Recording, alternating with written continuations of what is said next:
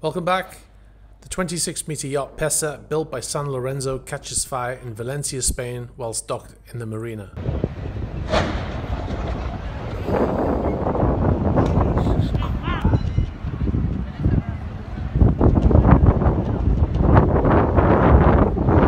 Firefighters almost completely extinguished the blaze, however, then there was an explosion and a fireball.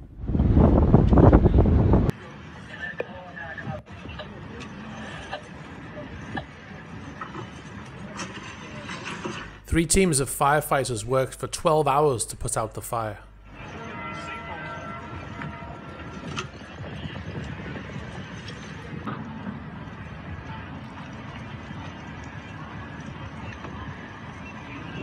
The fire was believed to have started by damaged lithium batteries.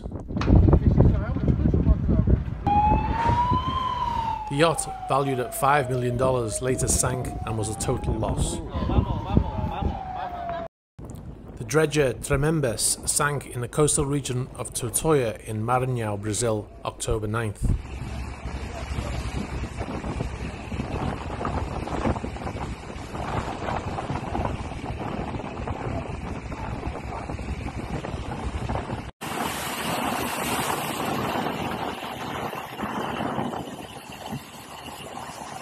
The accident happened around 5:40 a.m., 9 kilometers from Tutóia, just after the vessel left the port of Fortaleza.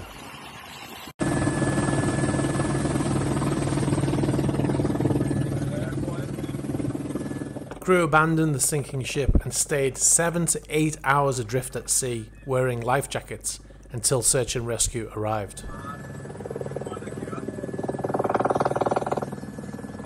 All nine crew were rescued with no injuries.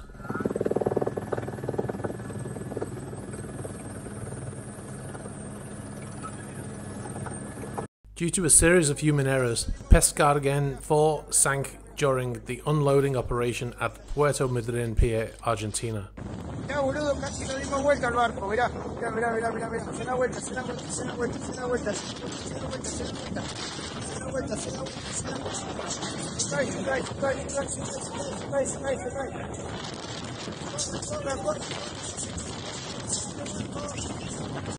Succession of human errors in unloading caused the ship to capsize.